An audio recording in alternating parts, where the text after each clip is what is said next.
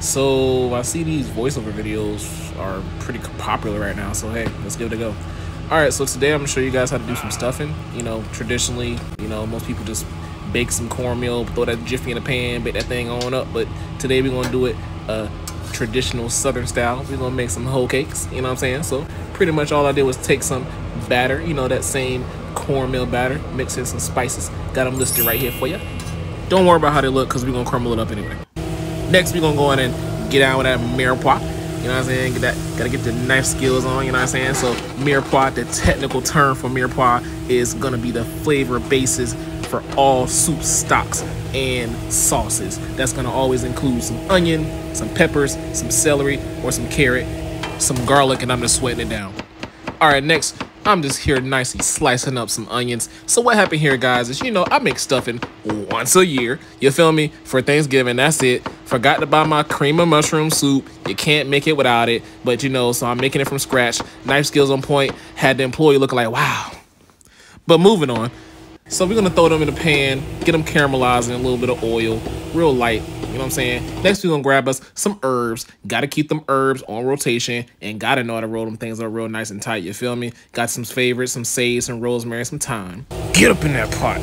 but nah, definitely add them, they add tons of flavor. All right, now we're gonna wash off our mushrooms. You see the difference? Some things dirty, boy, you gotta wash them shroomies. All right, so next we're gonna slap these down in a pot, you know what I'm saying? Saute these down, nothing too special.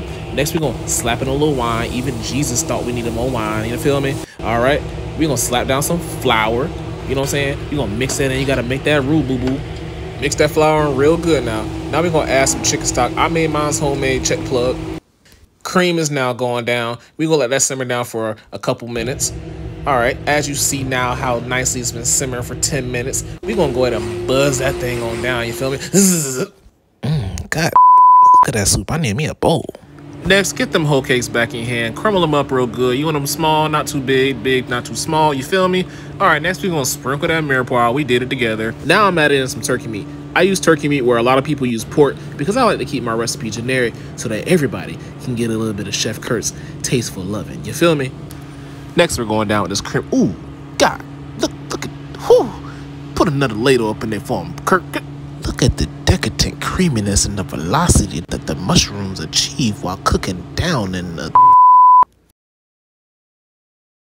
So now you just want to get everything mixed in really well. I don't know why I try to do this at first with a spoon, but hey, you know, uh, yeah, just get it mixed in real well. Make sure your oven's preheated to 350. You know, if you need to pour some stock on top and moisten it up, do that. We're just gonna bake it off for 25 minutes and then. Give me your card. Give me your Instagram. give me your Snapchat. Give me your DJ. Nigga, Kurt. Yeah, Kurt. Goddamn, Kurt.